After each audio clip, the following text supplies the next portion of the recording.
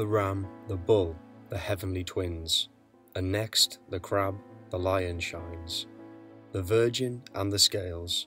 the scorpion, archer, and sea goat,